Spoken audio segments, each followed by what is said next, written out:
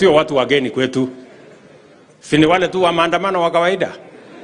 So mimi nimemwambia Profesa Kindiki aulize hawa watu.